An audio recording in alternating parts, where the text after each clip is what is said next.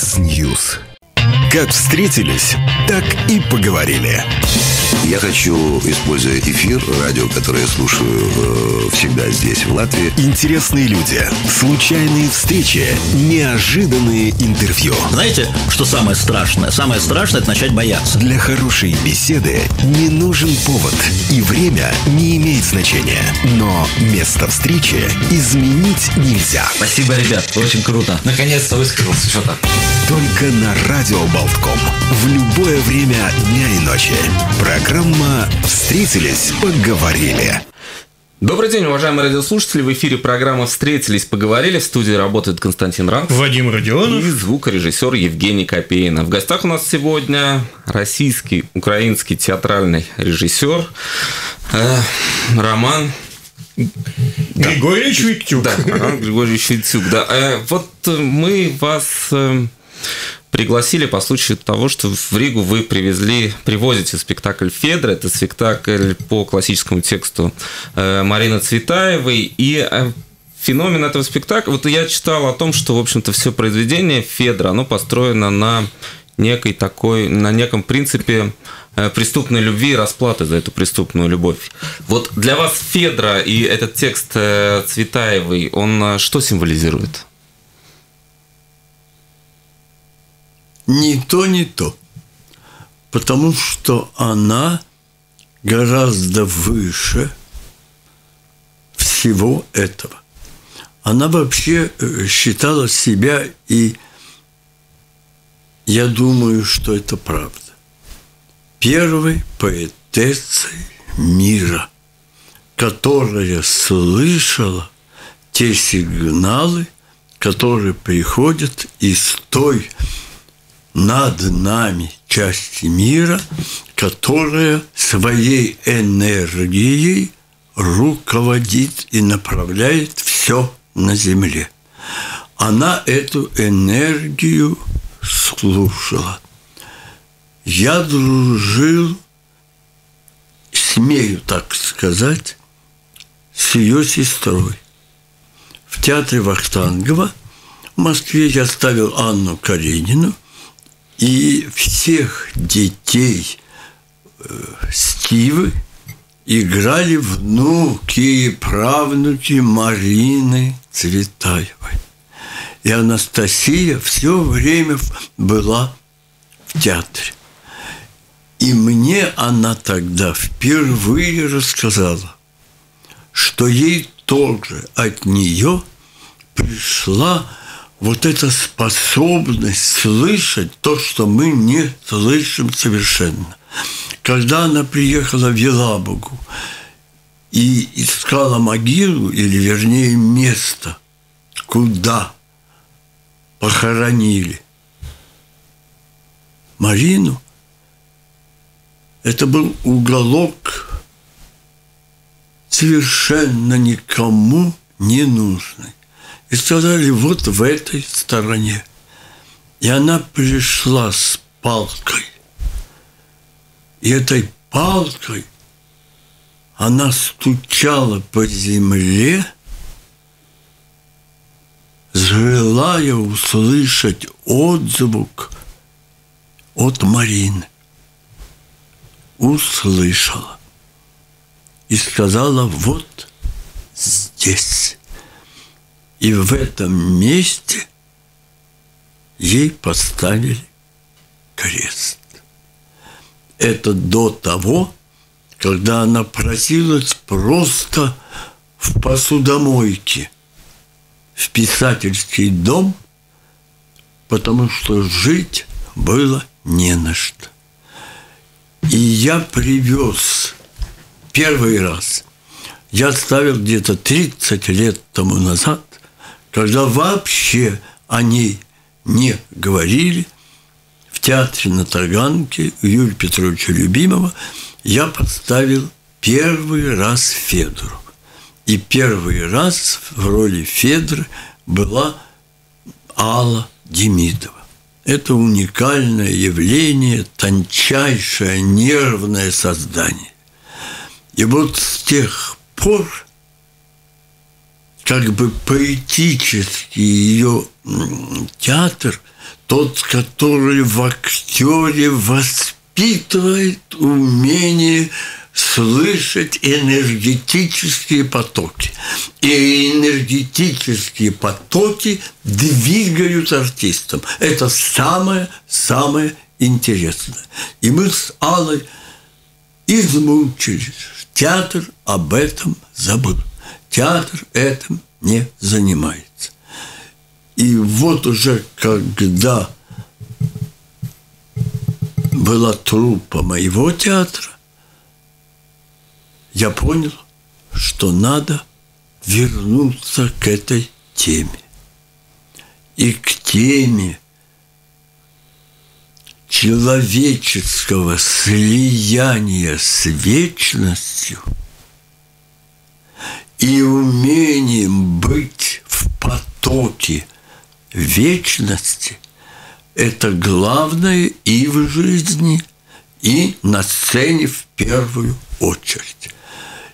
И вот сейчас мы привезли спектакль, в котором занято 25-26 молодых ребят, моих студентов и не студентов.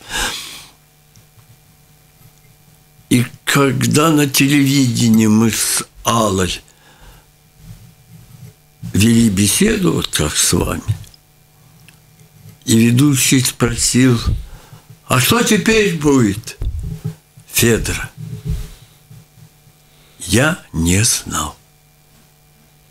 Я только знал, что нужно искать душу, которая может существовать вот в этом плане, о котором я говорил.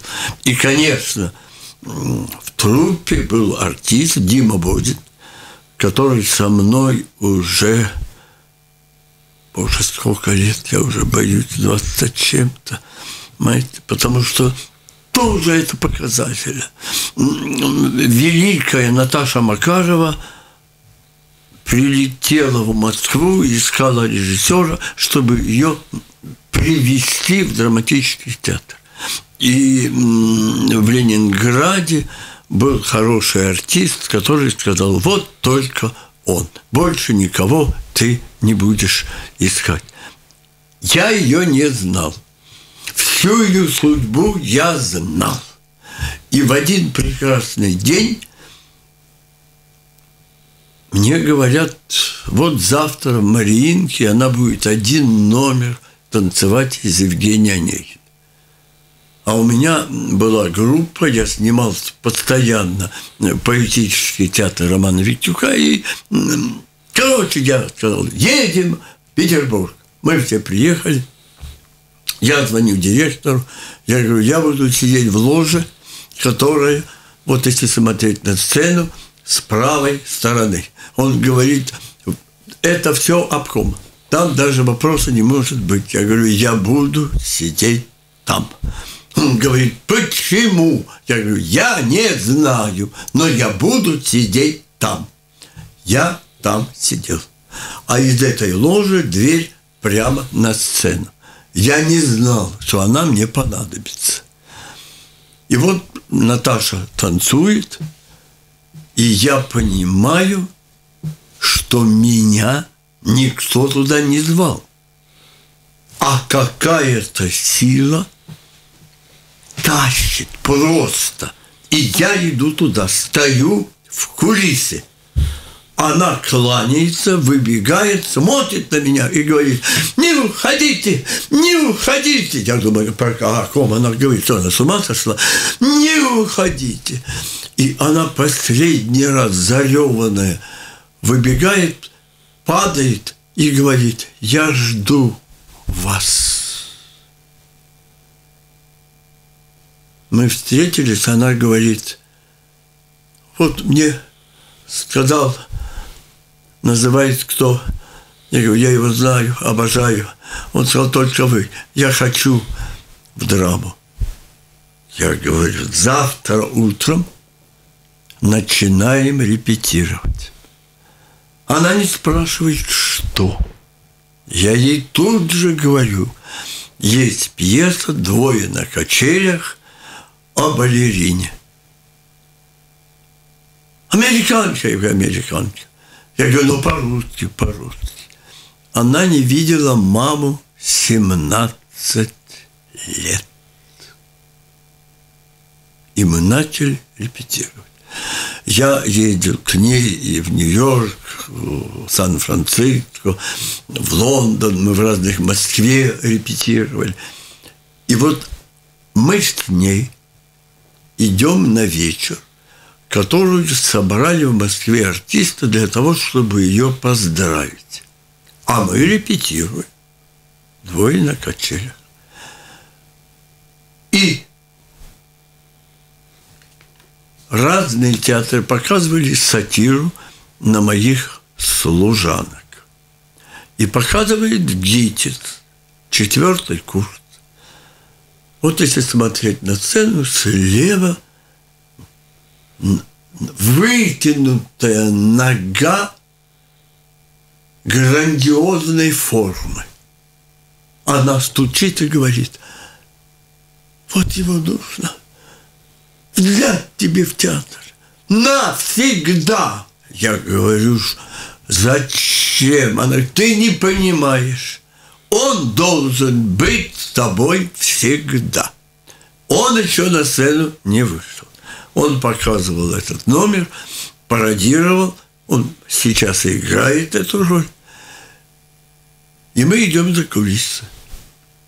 Я говорю, вот если он спросит, сколько денег вы дадите, если скажет главная роль в списке первая, вторая, третья, он не, я его не видел, он на меня смотрит, я говорю, завтра в 11 репетиция в театре Совета, зал такой-то. Он сказал, я буду.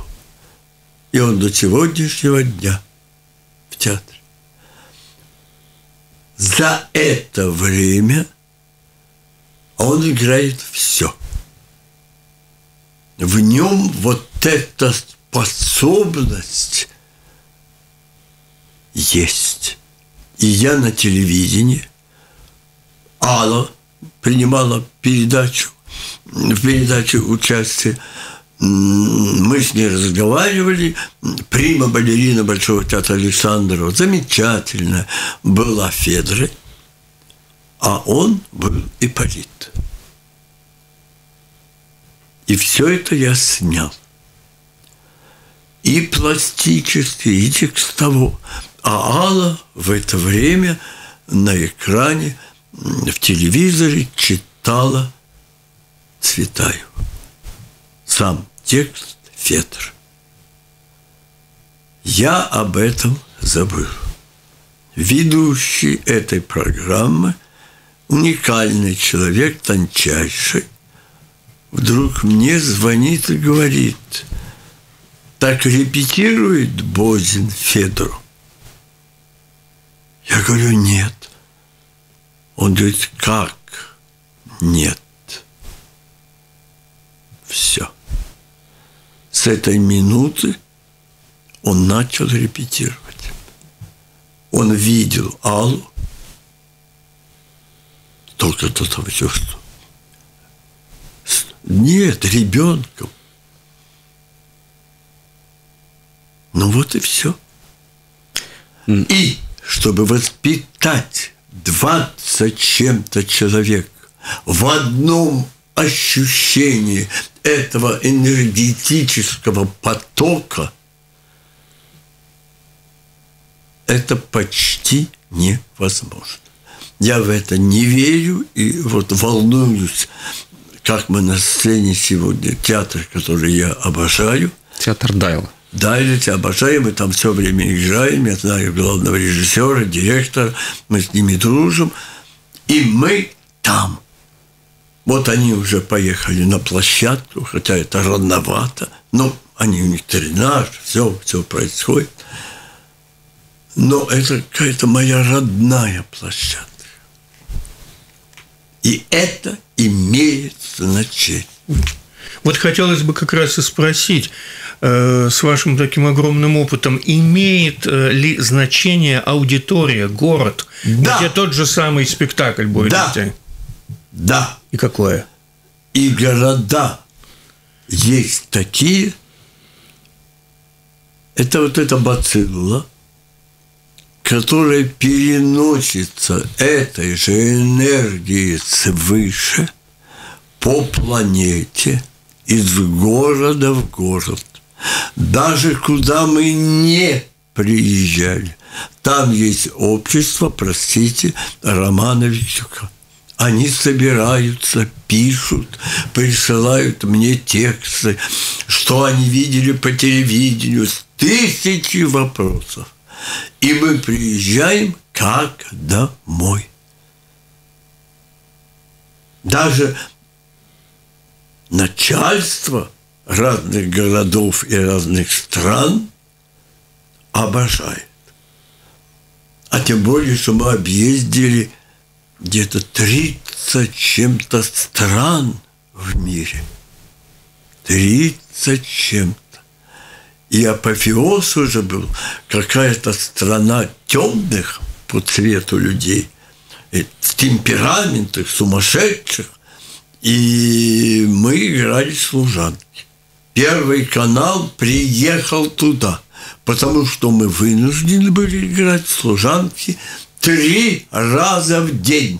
Последний спектакль был в 12 ночи. Я кричал, они спать будут. На улице толпа, экраны показывают все, что на сцене они попросили. И в финале, когда идет финальный танцевальный апофеоз, они ворвались в зал, стали снимать себя. Господи Боже мой, цепи, кольца – бросать артистам под ноги. Я из-за кулис только кричал, оставьте мне хоть что-нибудь. Оставили? Нет, нет, да я и не требовал. Понимаете, не знаю, что это. И когда я был председателем жюри самого лучшего, грандиозного в Европе фестиваля в Югославии, до этого мы там тоже играли служанки. И опять сумасшествие. И мы играем этот спектакль 30 лет.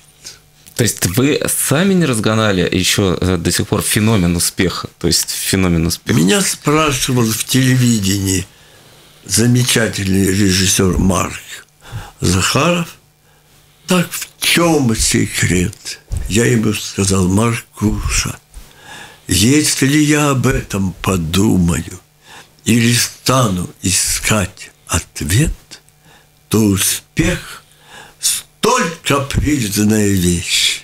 Он исчезает и прячется. И навсегда может исчезнуть. То есть получается, что дело в загадке? дело в какой-то тайне, в том числе тайне. и для вас самих. Потому что эта энергия, если ее предашь, порченный организм, который может предавать время тебя, время самое главное, то ты не замечаешь, как эта чернота, она так как бацилла парализует все. Прежде всего талант. А тогда ухищрение. Что придумать, какой... То песни, то танцы, то это, все. Но что мне сказал Юрий Петрович Любимов? Великий человек перед смертью он сказал, три твоих спектакля не разгаданы до сих пор. Ты можешь спать спокойно. Это еще тебя ждет впереди. И вот в числе трех служанок Он говорит, их повторяли это в школах, играли дети, сцены воровали, все, что хочешь. Но вот этот принцип общения нет друг с другом, ни подковыривание власти, ни намеки на систему и так далее, ничего не дает. Но вы чувствуете эту энергию? То есть... э, Как я не могу, я вот сейчас на чем держусь? Вы что? Я их спою ночью. Какой вы вредный. Ночью в поезде. Я знаю, что должны прийти по границе. Я знаю, это все правильно. Я жду этого. И мне снится сон. Оркестр. Сидят музыканты, я еще лица вижу, латышские лица, стопроцентные. Пульт дирижерский. Меня объявляют, я выхожу, стою у пульта, вижу их глаза, они ждут сигнала начинать, а я не знаю, что я должен играть. Я поднимаю руки. В это время стук в дверь пришли пограничники. Причем стук деликатный, такой, который предупреждает оркестр, что сейчас начнем. Я с радостью открываю дверь. И он не входит. Говорит, ой, здрасте, это вы. До свидания.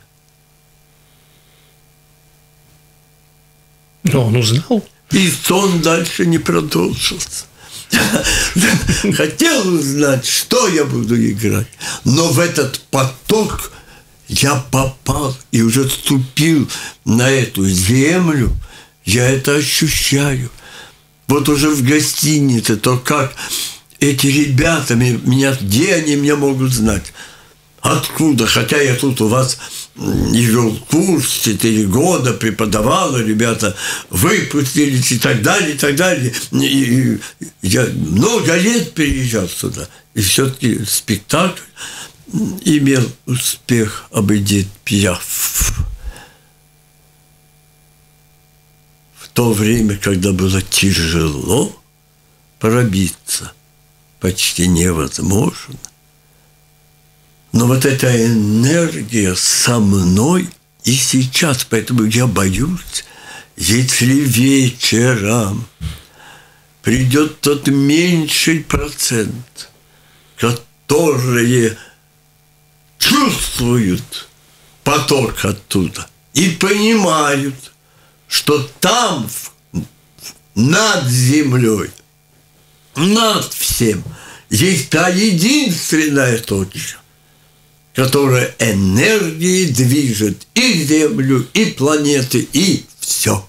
И есть же фантастическая теория, что поворот над Землей бывает в определенное количество лет, когда есть точки на Земле, когда творческое начало начинает вибрировать. Это был в России 1913 год, когда была высота подъема экономики, богатства и счастья.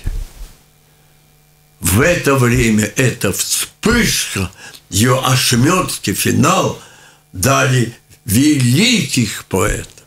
Этого периода уже нет. И неизвестно, когда это будет. Хармс, великий поэт, был охвачен этой вспышкой. Обариуты.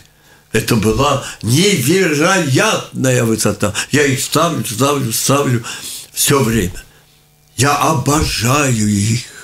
И та история с Хармсом, что он на улице Маяковского, в комнате, где он жил, он ждал каждую ночь, что за ним придут, как Мандельштам пишет, о стуке этого дверного замка.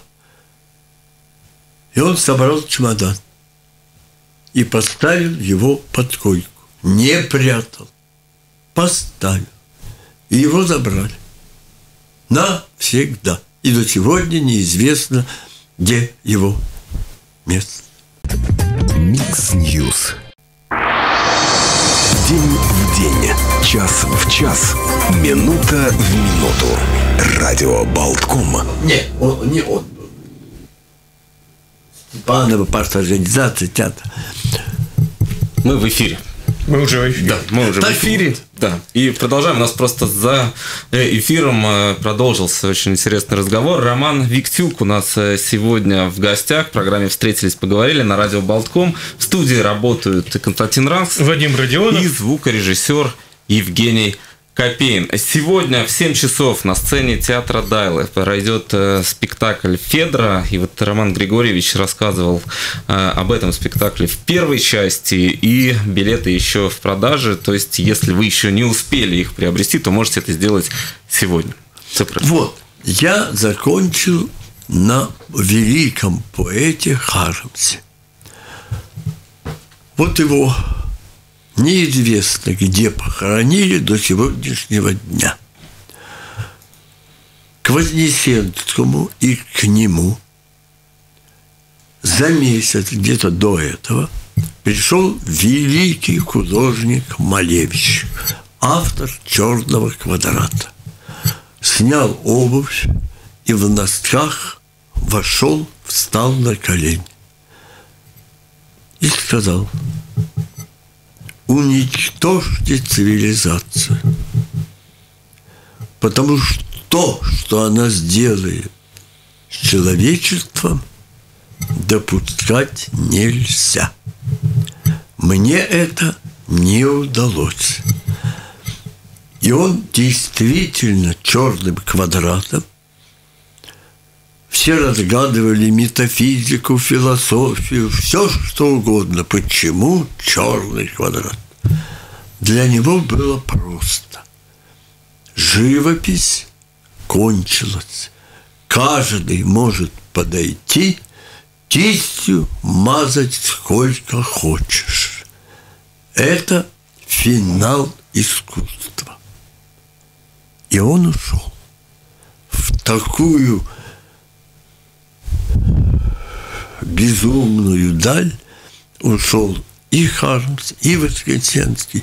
Никто из поэтов тогда, ни Ахматова, ни Гумилев, ни Мандельштам, никто не знал об том, что писали эти абриуты, авторы реального искусства. И был у них друг, который во время блокады жуткий мороз на санках подъехал к дому Хармса на улице Маяковского. Поднялся наверх, открыл дверь и был убежден, что там ничего нет. Взгляд его упал на кровать, и он увидел тот чемодан. Не тронутым. Там были все рукописи. И он по одной на протяжении многих лет оттуда вынимал и печатал. Кто сохранил этот чемодан? КГБ не могло отставить хоть что-то от них. Судят по дальшим всем событиям, которые происходили, и с ними а, категорически, я уже не говорю про Ахматову, и вот эту вспышку, которая была определена свыше. И до сих пор человечество не награждается способностью к творчеству. Это я не выдумываю, но это грустная правда.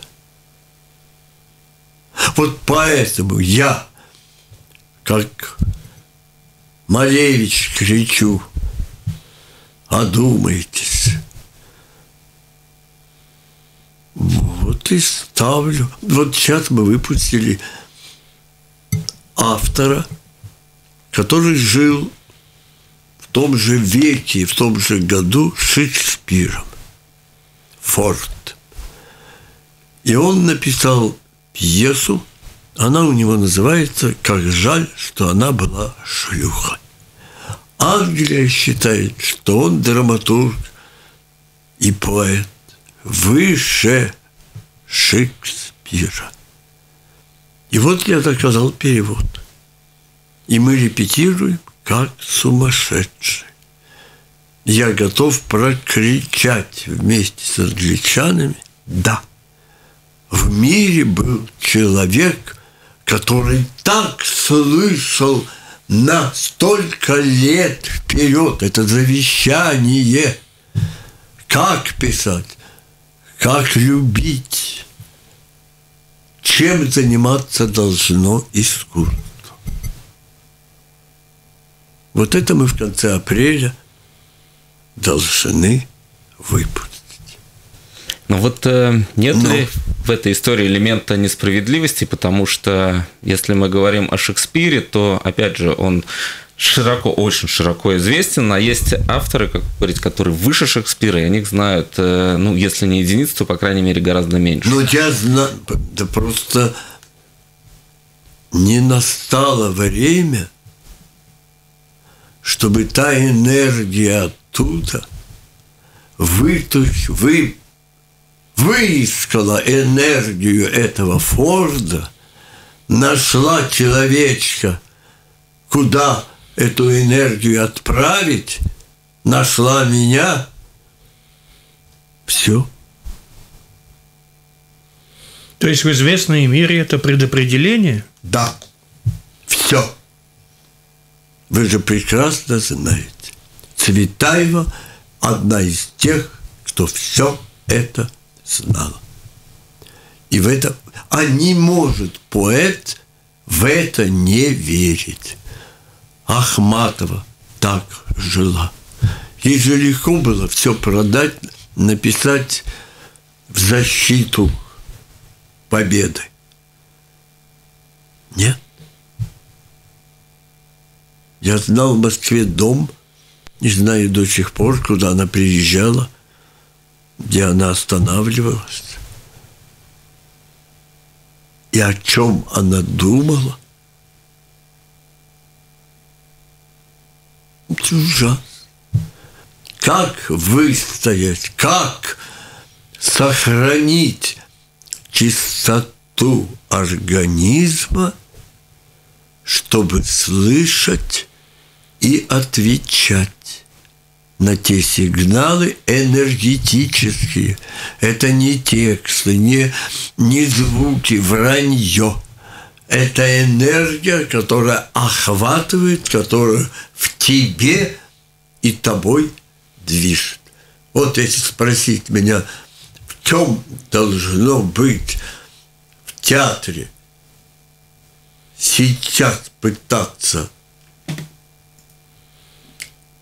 по-другому мыслить. Это не форма декорации, это не количество танцев, музыки, юмора, намека, политических издевательств. Это все чепуха. Все это уходит и исчезнет. А то, как движет человеком на сцене, его поведением, это энергия. Вы сегодня, вы придете вечером? Да. Постараемся. Последите за этим. Там есть тройка ребят моих. Неведров, Иванович и Дима будет. Вы поймете, как они в данную секунду транслируют энергию друг другу. И заканчивается спектакль, когда поет это человек, которого я любил и люблю, Елена Образцова. Великая по энергии и по слышанию этой энергии. За месяц до смерти у нас в театре был ремонт, леса, рабочие. Она должна была уезжать в Германию на лечение. Я к ней приехал и сказал, Лена, одевай белое, может грим не делать. Я не могу без грима. Не спрашивайте. Я еще ничего не сказал. Я не могу без грима. Я говорю, можешь. Одевайся. Она приехала на площадку. Я уже договорился с телевидением, стояли камеры.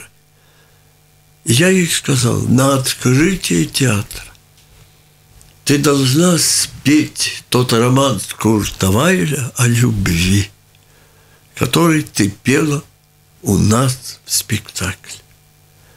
Она сказала «да». Вот она приехала, и от ее света рабочие не то что затихли, все затихло. Она вышла из глубины. Я еще сказал текст. И она начала. Она закончила романс и сказала мне слезы на лице. Я так никогда не пела. Она пела последний раз в жизни. И на утро уехала в Германию. Все. И в этом спектакле, в финале, поскольку на сцене нет декораций, а есть только нарисован в стиле 20-х 20 годов наш э, театр.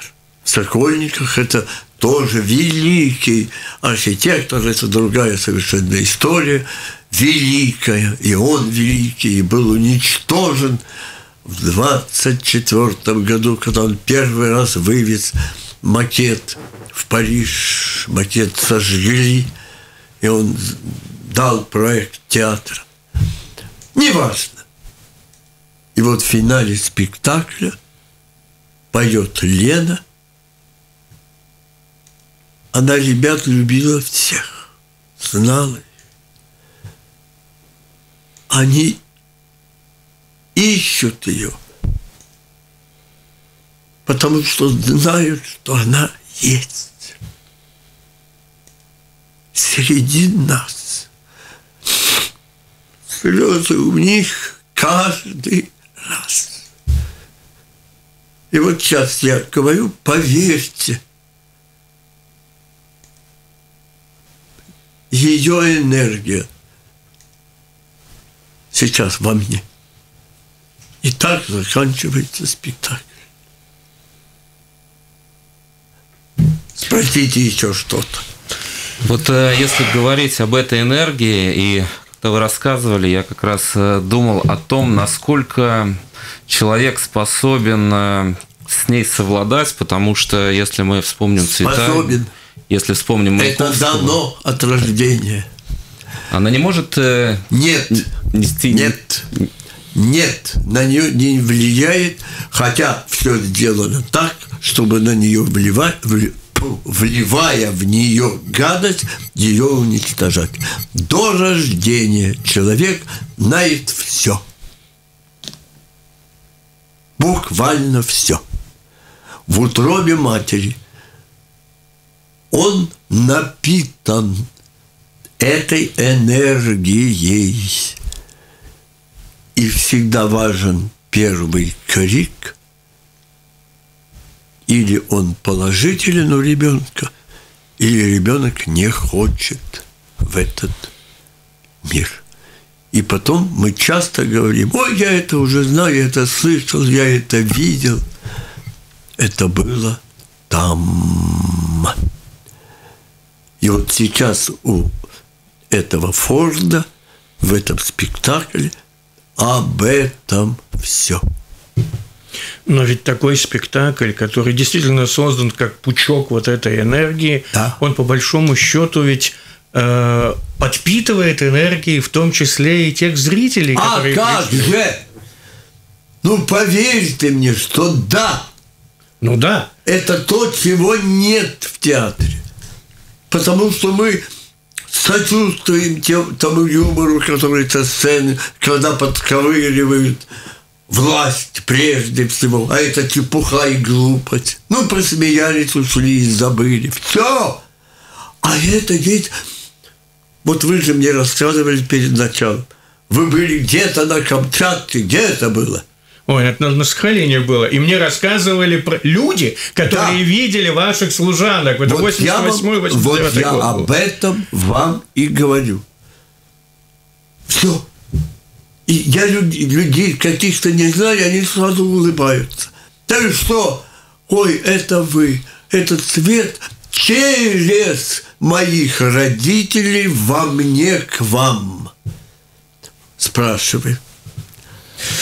Ну вот у нас, к сожалению, время подходит к концу, мы уже вынуждены заканчивать, но вот как раз поскольку я уже упомянул время, э, и вы упоминали в начале э, нашего эфира именно время, вот время для вас это что? Время как явление, как период, вот как вы его видите? Это молитва. Все. У каждого своя.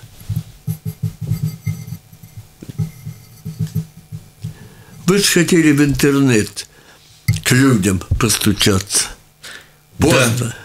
Вот как раз люди пишут о том, что они э, настолько э, заслушались, что у них даже нет вопросов, э, и пишут они о том, что мы просто слушаем и наслаждаемся тем, что слышим. Так что вот интернет-сообщество как не театр, оно сейчас с нами вместе, они Ну, это спасибо вам большое. Я поэтому и пришел, поверьте. Хотя я все эти дни мы репетируем с утра до ночи. С утра до ночи. Дай бог вам сил. Вашей бы молитвой, да. Знаешь, я перед выездом сюда встретился, мы должны были, с Татьяной Васильевной Дорониной. Она, мой спектакль играет уже 30 лет. Старая актриса на роль жены Достоевского. 30 лет. Пьеса Родзинского. И она с последнего спектакля приготовила свою фотографию, большую, смотрит на меня. Таня молодая, Таня, приехавшая из Ярославской области, та, которая потом с Ефремовым в фильме пела песню, эти ее глаза, этот ребенок, большой ребенок. И она говорит, я не могла на тебя не посмотреть. Мне надо очиститься. И мы сидели до ночи и просто любили друг друга. Это так редко бывает. Так было и с Юрием Петровичем любимым. Уходя, он мне сказал, нас с тобой двое. Потом выдержал паузу и сказал, нет, ты один. Я только набрал воздух, он сказал, ты один. И умер. Все.